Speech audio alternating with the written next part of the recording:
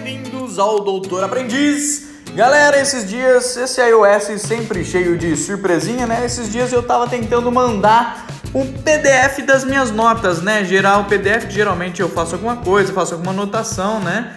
E mando e gero, gerava um PDF e passava por e-mail. Mas agora esse iOS cheio de tereco-treco, querendo mudar tudo, né? E eu não achava como é que fazia para mandar é, um PDF aqui dos notas. Então vou passar para vocês de uma forma rápida, um jeito que eu encontrei simples de fazer uma nota virar o PDF e você poder mandar por e-mail. Isso tava mudou aqui no iOS 3, né? Então vamos lá sem, sem muita demora, né? Como sempre, vamos lá. Primeiro você vem aqui, por exemplo, no notas, né, onde que eu falei para você, você vai selecionar uma nota.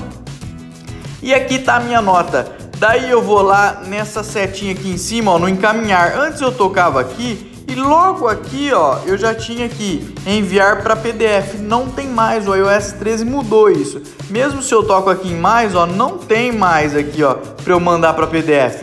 Então, como é que eu faço? Eu posso vir aqui, deixa eu sair daqui, beleza? Eu venho aqui, ó, aqui para baixo tem um marcação. Então eu posso tocar aqui em marcação, na verdade ele já virou um PDF aqui, ó. Tanto é que se eu der um OK, ele vai falar assim, ó, salvar arquivo em ou apagar PDF. Então esse cara já virou um PDF. O que, que eu faço? Eu toco aqui embaixo no encaminhar, agora sim eu posso mandar ele por e-mail. Vou lá, escolho o meu e-mail, escolhi e olha aqui, já virou um PDF, é um arquivo que está aqui. Ele virou um PDF ou uma imagem, você pode mandar por e-mail. Tá vendo aqui no assunto já ficou ó, red1.pdf. Então ele já virou um PDF você pode mandar para o seu e-mail. Vou aqui apagar o rascunho que eu não vou mandar.